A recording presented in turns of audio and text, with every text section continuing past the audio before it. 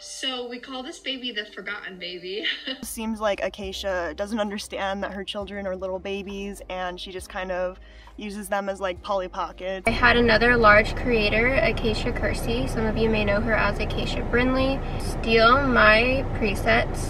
Since that video, I knew that I could not rely on the people close to me anymore.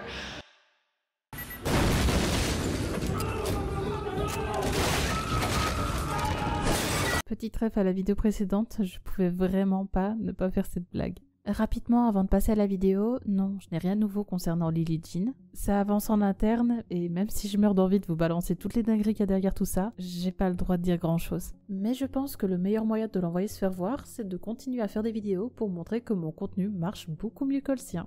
Good job, Laura. You win that time. You won the battle, but you will lose the war, my friend. Le sujet qu'on va aborder dans cette vidéo est celui d'une influenceuse qui a connu une forte popularité dès son adolescence et dont la triste évolution a fait beaucoup de dégâts sur son passage. Installez-vous confortablement car on va parler d'Acacia Kersey, l'utilisatrice Tumblr la plus détestée d'Internet.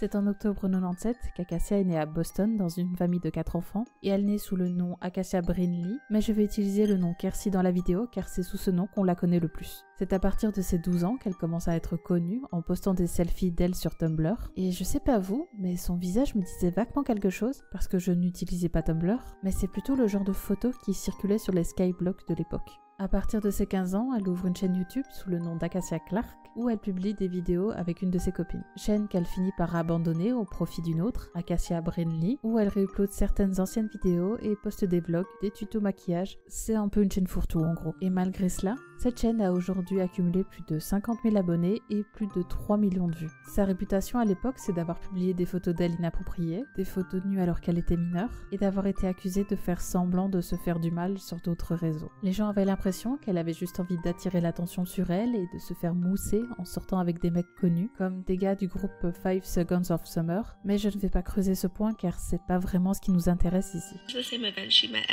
I don't know what event this is, but like Mikey was there and then he left and everyone's like, oh, he left because of her. Like, we no idea. People thought she sent pictures to Five to get tickets or that she was just trying to them and like she would go to a concert and be on her phone the whole time and not be there for them or she would go see One Direction and just be there to try to get with Five things like that. Sa réputation est si mauvaise que le jour où Acacia dit sur Twitter qu'elle va passer une audition pour jouer dans son film préféré, bah, les gens vont tag l'auteur du livre lui-même pour lui dire de ne pas la prendre. Acacia voulait devenir actrice et chanteuse, bah tiens ça me rappelle quelqu'un, mais elle a réussi à tourner dans de vraies productions comme Another Day in Paradise. Son chemin sur YouTube prend un nouvel élan en 2015 lorsqu'elle se met en couple avec Jairus Kersey, âgé à ce moment-là de 25 ans, tandis qu'Acacia arrive à peine sur ses 18 ans. Jairus c'est le chanteur principal d'un groupe de rock, Live Like Me, et ensemble ils commencent à tourner des vlogs. Deux ans plus tard, ils auront leur premier enfant, une petite fille du nom de Brinley, et en 2018, c'est la petite Rosemary qui voit le jour. Les parents vloguent le tout, ils s'attirent une communauté de personnes bienveillantes autour de leur petite famille aux allures parfaites. Ils se marient juste après la naissance de leur deuxième enfant et après ils en auront un troisième, un petit garçon appelé Calier en 2020. Donc en quelques années, Acacia passe de la fille que les gens insultent sur internet à la femme mariée avec trois enfants. Mais malheureusement, ce que les gens considéraient comme une évolution saine et positive d'Acacia ne va pas tarder à montrer des zones d'ombre. Acacia est une femme qui aime s'entourer d'animaux, et ce, depuis son plus jeune âge. Cats dogs. Hermit crabs, three of those, I don't remember their name. I've had a possum before. Cependant, au fil des années, on remarque une certaine tendance d'Acacia de se séparer un peu trop facilement de ses animaux, à savoir qu'elle est allergique aux poils de chat, comme elle le dit dans ce tweet datant de 2015. Prenons maintenant Sébastien, un chat sans poils qu'elle décide d'adopter cette même année. À peine un an plus tard, le couple décide de se séparer de lui et d'un autre chat à l'occasion de leur déménagement. basically, when we get to our new house, there's really only one spot that the cats can be, and that would have to be in the garage. The garage is big, it's cool, we can set it up really nice, but the truth of the matter is, is we know that we won't be going in there very often. So what we're gonna have to do for the better of the cats is, um, you know, relocate Sebastian to one of our friends and give uh, Cotton back to her dad. Donc ils veulent prendre un jardin plus grand pour leur chien, mais ils peuvent pas garder leur chat car ils doivent les mettre ailleurs dans la maison où ils n'iront jamais. C'est un peu claqué comme argument, mais ça c'est pas le pire. Dans un tweet, Acacia parle aussi de l'autre chat, Cotton. En juin 2016, le couple décide de partir 4 jours à New York en laissant Cotton seul chez eux avec deux bols de croquettes et un bol d'eau. À leur retour, ils découvrent que la maison est infestée de fourmis et que les gamelles du chat sont restées pleines vu que celui-ci n'a rien mangé. Feel terrible because Cotton was staying here and we gave him like two bowls of food and just like a giant thing of water so he'd be fine while we were gone for four days. And we come back and I'm like, wait, why didn't Cotton eat any of his food? And I turn the light on and it's just like covered with ants. Like, so he didn't eat anything because the ants were just all over it. Alors je veux dire, je suis pas une personne à chat, je dois faire partie des rares personnes sur cette planète à avoir peur des chats en fait, mais ça n'aurait pas été le minimum de demander à quelqu'un de leur entourage de passer au moins une fois sur les 4 jours pour s'assurer que tout va bien Pourquoi laisser Cotton sans surveillance avec seulement deux bols de nourriture? Il faut que quelqu'un vienne tous les jours pour nourrir un animal quand vous n'êtes pas là. Les chats se débrouillent très bien seuls, mais c'est un peu différent s'il s'agit d'un chien. Ils peuvent facilement sortir, aller chercher de la nourriture. Le chat passe la plupart du temps dehors. Donc à leur déménagement en 2016, ils donnent leurs deux chats et il a été reporté par la nouvelle famille de Sébastien que ce chat présentait des soucis de santé quand il a été récupéré de chez Acacia et Jerus. Ensuite, on a BB-8 qui a été adoptée en septembre 2015. Attendez, elle a pas dit deux mois plus tôt qu'elle était allergique aux poils de chat? I'm allergic to cats. Et bah surprise Après une réaction allergique, elle décide de s'en séparer et de le donner à un ami. Et si vous pensez que ces chiens ont eu plus de chance que ces chats, vous vous trompez. Je vous présente Jabba, un magnifique dogo. Malheureusement, la mère d'Acacia l'a forcé à trouver une nouvelle famille pour ce chien car il y avait vraiment personne pour s'en occuper correctement. Ma mère me donne un jour de plus pour lui trouver une maison, donc si l'un de mes amis veut un chien mignon et gentil, vous pouvez avoir Jabba. Jabba avait besoin d'attention 100% du temps et avait besoin d'espace pour courir 8 à 10 km par jour. Heureusement, Jabba a pu être adopté par une autre famille, mais j'ai vraiment du mal à comprendre les gens qui adoptent des animaux sans se soucier de leurs besoins. Et c'est pas fini. Un an plus tard, Acacia adopte un autre chien, T-Burst. Et oui, c'est sûrement à cause de League of Legends. Sous les commentaires de son tweet, les gens s'inquiètent qu'ils subissent le même sort que Jabba, ce à quoi Acacia répond qu'elle est prête désormais. Tant pis pour Jabba, dites au revoir à T-Burst dans environ deux mois. C'en est assez des gens qui disent ça. J'ai eu Jabba pendant deux ans et il ne vivait pas la grande vie avec moi. Je suis prête maintenant. Tellement prête qu'elle adopte deux autres chiens, Lucy et Eva, et contrairement aux chats, ils ont tous eu la chance, la chance, de survivre au déménagement. Jusqu'à ce que Jairus propose à ses amis d'adopter T-Burst sur Facebook. On cherche une maison pour ce petit gars, il a environ un an, prêt pour une bonne maison. Je lis ça calmement, mais j'ai clairement des envies de violence face à ça. Une camomille? Quant à Eva, elle a disparu plus ou moins dans la même période que T-Burst, ne laissant que Lucy. À titre personnel, tous les animaux chez moi et chez mes proches sont des animaux qui ont été abandonnés au moins une fois, et ça prend tellement de temps et d'énergie de les aider à se remettre d'un abandon que ça me rend malade de voir quelqu'un faire ça à la chaîne. Et je plains ce chien quand on voit qu'elle déclare qu'il a de l'anxiété face aux autres et qu'elle affirme sur Twitter que ce n'est rien de crier sur son chien.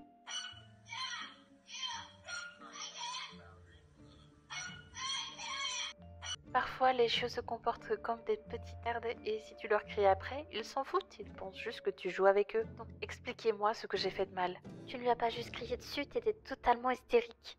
Je lui ai crié dessus aussi fort qu'il aboyait. Retire le balai de ton fiac, ce chien est heureux.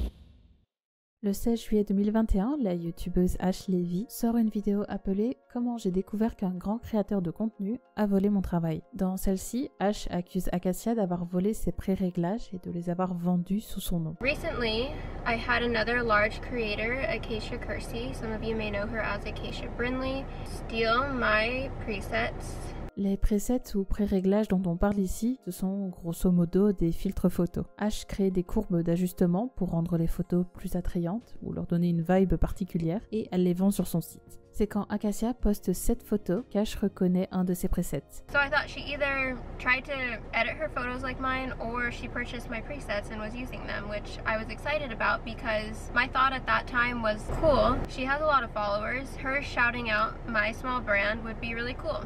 Le lendemain, elle tombe sur une story d'Acacia annonçant qu'elle va sortir son pack de presets avec quelques photos avec et sans filtre. Et là, Ash commence à sentir les problèmes arriver car elle pense reconnaître ses pré-réglages. Another instance that really like threw me off was this picture where she was talking about how it doesn't work for every photo and lighting scenario and everything and I knew because she used a photo with the sunset in it and I could tell by the colors in the sky that this was my preset orange soda.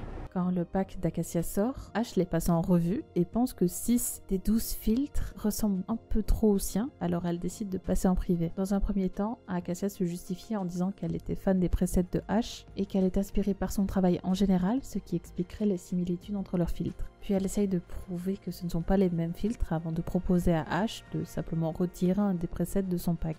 She asked if I wanted her to remove the one preset at the time. I came back and said basically no, like there are at least six that are identical. Je suis un peu perdue quand je lis les réponses d'Acacia. En considérant qu'il y ait vraiment malentendu, je comprends qu'elle veuille arrondir les angles avec H, mais on dirait qu'elle n'a pas vraiment de défense précise. Je me suis inspirée de toi, mais ce sont pas les mêmes couleurs. Mais si tu veux, je peux retirer le filtre du set. Ash lui donne le nom des pré-réglages et Acacia décide de les retirer de son pack. Alors peut-être que je ne suis pas douée en communication avec les marques, mais la vitesse avec laquelle elle l'applique pour retirer ses filtres, c'est vraiment suspect pour moi. Elle dit à Ash qu'elle va retirer son pack de la vente le temps de faire des modifications, ce qui implique donc que des gens lui ont sûrement déjà acheté son pack, et donc avec les presets de Ash dedans. She was also just going to resell presets that her followers probably already had, and she never mentioned this online.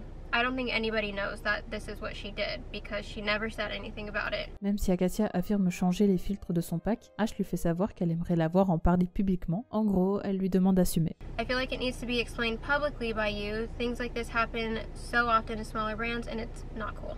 I worked on a fun summer colorful pack for months and months, but I had troubles finishing it. I became obsessed and honestly, I really fucked up by using the base of your presets to complete my pack. I really just wanted to create something that I knew everyone would be obsessed with too so that I could have a stable income in the meantime. Donc là, elle avoue par écrit avoir volé le travail de Ash pour le modifier et le revendre. Bref, je vais pas lire toute leur discussion, mais en gros, Ash lui dit qu'elle doit assumer et que ce n'est pas juste un accident. Ce qui peut se comprendre car elle lui a fait perdre indirectement de l'argent, mais j'attire votre attention sur la manière de répondre d'Acacia. Un coup, elle a peur de se faire attaquer par les gens qui la détestent, puis elle parle de crise de panique, elle sous-entend que si Ash en parle, ça va lui causer du harcèlement, puis elle parle de sa famille, qu'il compte sur elle et de son pack pour faire de l'argent, donc elle n'a pas envie d'assumer les conséquences, avant de finir par euh, bah, j'essaye de pas t'accabler avec mes émotions. Bah, qu'est-ce que ça aurait été sinon? À quoi elle aurait envoyé une photo de ses filles pour la convaincre de ne pas en parler? Starts telling me about her financial situation, which I'm gonna block out part of it because she tells me how much money she has in her bank account.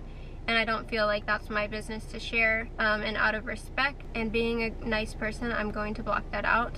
Mais dans tout ça, Ash ne se démonte pas, elle veut qu'Acacia en parle publiquement, au lieu d'essayer de tout mettre sous le tapis. C'est plus une question de principe que d'argent à ce point, car Acacia propose même de lui donner un pourcentage de ses ventes en échange. Finalement, Acacia prépare une annonce en public et l'envoie à Ash qui fait quelques changements, parce qu'Acacia est encore prête à mentir en disant que son nouveau pack a été vérifié par elle alors que ce n'est pas le cas, ou alors qu'elle essaye de se justifier en disant qu'elle a juste vu les presets de Ash alors qu'elle les a achetés. The night that she posted the green eyeshadow picture, I went and checked in my website thing. I can type in anyone's name and see who purchased the preset, and she did purchase them. Et voilà finalement la story postée par Acacia. Voilà, j'espère que vous avez tout lu. Je suis double champion du monde de lecture rapide. Mais à partir du moment où elle avoue avoir eu du mal à finir son pack, ce qui aurait dû l'alerter, qu'est-ce qui nous dit que les autres presets n'appartenant pas à H n'appartiendraient pas à d'autres créateurs qui ne sont juste pas encore tombés dessus? Je vous passe le reste du drama, mais H en a parlé publiquement, d'autres filtres du pack ont été attribués à d'autres créateurs, et Acacia a dû rembourser ceux qui le voulaient, à savoir que sur son Instagram, elle parle d'avoir envoyé les derniers remboursements en novembre 2022, alors que l'histoire est sortie en juillet 2021. Après cette histoire et la shitstorm qu'elle s'est prise, Acacia va décider de quitter tous les réseaux sauf un, Patreon. Oui, c'est un Patreon pour voir les photos de ses enfants.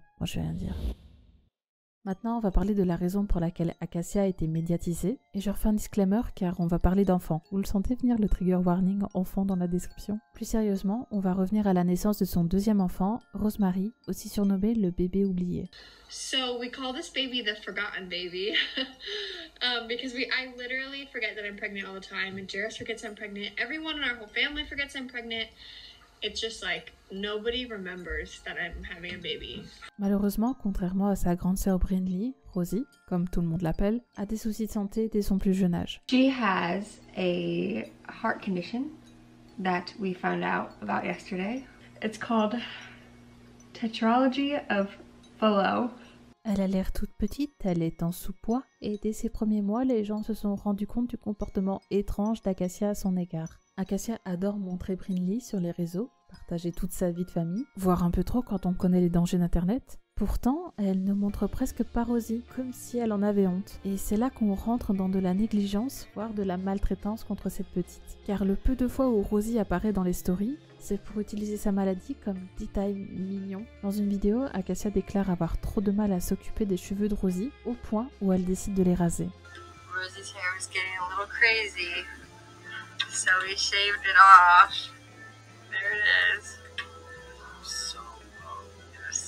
Et je ne suis pas experte en bébé, donc j'ai posé la question à ma mère sur la façon dont on s'occupe des cheveux d'un enfant. Normalement, ils doivent être démêlés après le bain pour éviter les nœuds, et plus tu attends, plus les nœuds se resserrent aux racines, ce qui peut faire mal. D'ailleurs, c'est encore plus étrange de comparer le traitement de Rosie avec celui de Brinley, car elle, elle a toujours ses cheveux parfaitement coiffés, comme si pour cet enfant, bah, elle pouvait faire l'effort. Dans un de ses posts, on peut voir que personne ne coupe les ongles de Rosie. Genre, il lui coupe pas les ongles parce que c'est joli. D'ailleurs, j'en ai parlé un peu plus tôt, mais effectivement, Rosie est bien malade et atteinte du syndrome d'Alagil, qui est une maladie génétique qui touche un enfant sur 30 000 et qui, parmi les nombreux symptômes, cause une mauvaise croissance au cours des premiers mois de la vie du bébé. Il faut savoir que Rosie n'a pas été directement diagnostiquée de ce syndrome, mais d'abord de tétralogie de Fallot, une sorte de malformation cardiaque. Et si je vous raconte ça, c'est parce qu'Acacia et Jairus, suite à cette annonce, ont sorti une collection de vêtements. Pourquoi pas moi? Alors je sais qu'il faut bien faire rentrer de l'argent un moment, mais là c'est pas un peu trop. Pourtant, la condition de leur bébé ne leur empêchera pas de sortir avec pendant la pandémie, ni de laisser traîner leur bébé n'importe où. Alors malade oui, mais uniquement quand on en a besoin. D'ailleurs, en creusant un peu, on peut trouver cette vidéo d'Acacia qui stream et où on entend Rosie pleurer en fond.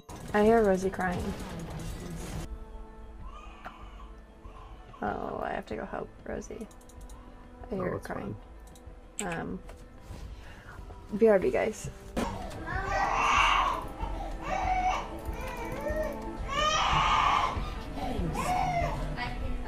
Hi, guys. I'm back. Everything good? yeah, Lucy stepped on her. Donc le chien, ce chien, a marché sur le bébé mais tout va bien Non mais moi c'est pas ça qui m'inquiétait, je voulais juste savoir si elle avait gagné sa partie avec Miss Fortune ou pas. hein. On remarque la différence de traitement entre leurs deux enfants, notamment sur cette photo au camping. Brinley a droit à un beau manteau bleu, donc signe qu'il ferait froid, alors que sa sœur, qui a eu une opération à cœur ouvert quelques semaines plus tôt, et dont le duo médical est flouté, n'a droit à rien du tout. Et vous voulez savoir ce qu'Acacia déteste le plus? Qu'on la compare à son bébé. Les gens sur Twitter ont pointé la ressemblance frappante entre elle et Rosie, ce qui est normal vu que c'est sa fille, et elle a fini par les bloquer tout en tweetant qu'elle trouvait que son autre fille lui ressemblait plus. Pourquoi ça a l'air si horrible de penser deux secondes qu'elle bloque les gens pour l'avoir comparée à sa fille malade plutôt qu'à celle en bonne santé? Acacia décide de revenir sur les réseaux sociaux peu de temps après son divorce avec Jairus, au bout de 4 ans de mariage. Elle se remet à poster des photos d'elle, des TikTok, mais cette fois sans montrer ses enfants. Ce qui est une bonne nouvelle, clairement. Sauf qu'on va passer du tout au tout entre une Acacia qui base toute sa vie sur ses enfants à une femme qui n'a même plus l'air d'en avoir eu. Car elle va jusqu'à faire une story où on a l'impression qu'elle regrette d'avoir eu des enfants. Life is hard, but at least I don't have a baby with my ex. I can't. I can't say that with you. I I can't say that with you. Et ce TikTok me fait énormément penser à la vidéo qu'on voit tourner sur Twitter en ce moment, celle des parents qui ont l'air au bout de leur vie à leur baby shower en découvrant qu'ils attendent une fille et pas un garçon. Genre ils vont penser quoi leurs gosses quand ils auront l'âge de comprendre tout ça? C'est comme si après ce divorce, elle voulait se débarrasser entièrement de l'image de mère parfaite qu'elle avait montrée sur internet ces 4 dernières années pour revenir à la fille qu'elle était à ses 16 ans quand elle était connue sur Tumblr. Et jusque-là, les accusations de négligence se limitaient à ce que les gens pouvaient creuser sur ces réseaux sociaux, mais cela va changer quand une vidéo va sortir. Is that? Uh.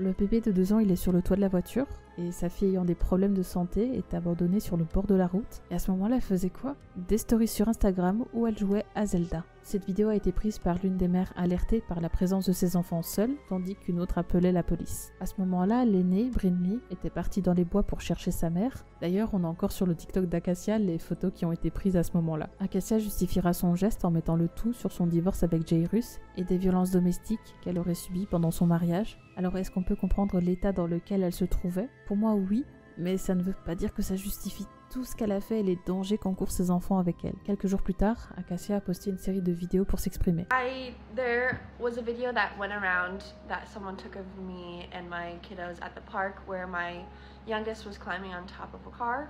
I had mentioned on my Instagram um, that I've been dealing with domestic abuse and domestic violence for several years now, um, but since my separation, it has gotten progressively worse week by week. I had asked for help from people in my life over and over, um, and nobody, um, nobody was helping. I was doing it all alone, and I had said that so many times that I was in an unsafe environment, and nobody was listening. Les personnes investies dans ce drama se sont empressées de tout analyser. Les petites moues qu'elle lâche au début de chaque séquence. L'ambiance, c'est pas de ma faute, c'est les gens qui m'ont abandonné, qu'on ressent pendant la vidéo, et le fait qu'elle ne fasse que parler d'elle et pas un seul mot sur ses enfants. Ses larmes ont l'air sincères, mais son discours présente des contradictions évidentes. Step away because I could not hold it together anymore, and I was not going to cry in front of the whole park, nor in front of my kids. So I stepped to the tree line where I knew that I could have a second, but also keep an eye on everybody. Once I saw Callie was on the car, I started walking back. Brinley also noticed and came to me at the same exact time I was already on my way.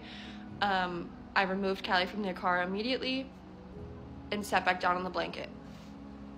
Alors pourquoi est-ce qu'on la voit marcher si lentement pour revenir Je sais pas, je vois un bébé sur le toit d'une voiture, d'autant plus si c'est le mien, bah je me dépêche. Et je connais pas les statistiques d'un bébé niveau vitesse et dextérité, ou à l'odeur de la phrase. Mais si elle avait pris aussi peu de temps pour revenir, le bébé il a grimpé à quelle vitesse sur le toit? Elle comprend qu'elle a fait n'importe quoi, mais elle a seulement l'air de le comprendre parce que les gens lui sont tombés dessus, et non parce que c'est pas normal. Since that video, which is about four weeks old, I knew I could no longer rely on the people close to me, and so I have reached out for help. I've removed myself, and I'm now more in a safe environment because of her, and um, I'm doing so much better, even though it's so much harder, and I am gonna keep going. Pas un mot sur ses enfants, au contraire, elle affirme qu'elle va continuer à poster sur internet. Tout ça comme si tout ce qui comptait maintenant, c'était qu'elle avait donné sa version, comme s'il n'y avait pas trois autres vies concernées. Creating is something that brings me joy and has always brought me joy, and so I have no plans on letting anybody tell me where I can and can't be. And the internet is a place for everybody, and it is a place for me, and so I will continue to be here. Son explication sur le pourquoi elle veut rester sur Internet, sur le fait qu'elle veuille juste partager de la joie, semble tout aussi fausse dans le fond. Elle est née, a grandi avec Internet et a créé toute sa vie sur les réseaux sociaux. Alors la raison la plus évidente pour moi en voyant son histoire, c'est qu'elle ne veut pas quitter Internet car elle sait pas quoi faire en dehors d'Internet en fait. À peine quelques semaines après l'histoire du parc, Acacia a été repérée par un redditeur à un concert en Californie, à des kilomètres de là où se trouvaient ses enfants. À ce jour, elle vit principalement des revenus de TikTok, de ses abonnements OnlyFans, et elle vend des affaires sur Amazon, dont ce livre sur le cerveau des enfants. Et je vais juste revenir deux secondes sur quelqu'un que tout le monde semble avoir oublié au fil de l'histoire, Jairus Kerzi, le père des enfants. Après avoir passé en revue tous les dramas autour d'Acacia, j'ai fait quelques recherches sur ce que devenait cet immondice, car faut pas oublier qu'il était là quand les trois enfants ont été conçus quand même, et qu'il est celui qui avait approché Acacia alors qu'elle était à peine majeure pour la marier alors qu'il avait 25 ans. Il semblerait que sa carrière musicale soit au point mort, car quand je cherche son nom sur internet, tout ce que je trouve est relié à Acacia. En tout cas, j'espère que comme elle l'avait indiqué dans son explication, Acacia est toujours en contact avec une aide pour elle et ses enfants, et que ceux-ci ne subiront pas trop les répercussions des dramas autour de leur famille quand ils seront en âge de comprendre. Si vous êtes arrivé jusqu'ici, je vous en remercie. N'hésitez pas à me faire vos retours dans l'espace commentaire. Une dernière chose avant de conclure, vous pouvez maintenant, si vous le souhaitez, prendre un abonnement à ma chaîne pour voir mes vidéos en avance. Je lance ça pour remercier ceux qui me donnent sur Kofi depuis déjà quelques mois sans avoir de contrepartie. Donc si ça vous intéresse, vous pouvez cliquer sur le bouton rejoindre. C'était Cléor, peut-être une prochaine fois.